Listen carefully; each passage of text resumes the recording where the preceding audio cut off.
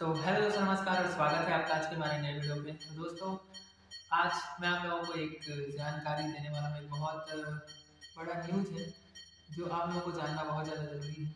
जो भी student MBBS के फाइनल ईयर में और साथ में नीट पीजी की तैयारी कर रहे हैं और एम करना चाहते हैं पर्टिकुलर एक सब्जेक्ट में स्पेशलिस्ट होना चाहते हैं।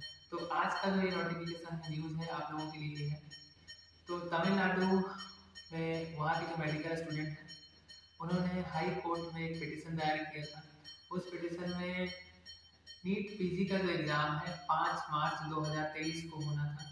तो स्टूडेंट्स का कहना यह है मेडिकल स्टूडेंट्स का, कि उस एग्ज़ाम डेट को पोस्टपोन करके इस डेट को आगे बढ़ाया जाए।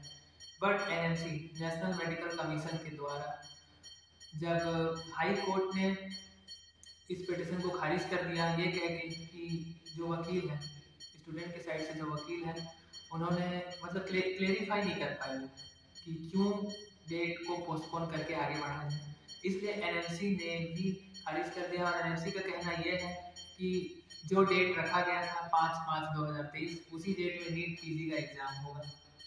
तो बस आज का जो न्यूज़ था आपको कैसा लगा? कमेंट बॉक्स में कमेंट करके ज़रूर बताइए। आज की वीडियो को रिपेयर करते हैं, मिलते हैं नेक्स्ट वीडियो में चैनल को ऐसे ही सपोर्ट करते रहिए लाइक कीजिए सब्सक्राइब कीजिए। आप सभी को दिल से थैंक यू अगर आपके कुछ डाउट्स हैं तो इस वीडियो के डिस्क्रिप्शन में मैं इंस्टाग्राम का लिंक दे दूँगा। आप वहाँ पर अपने डाउट्स पूछ सकते हैं। Thank you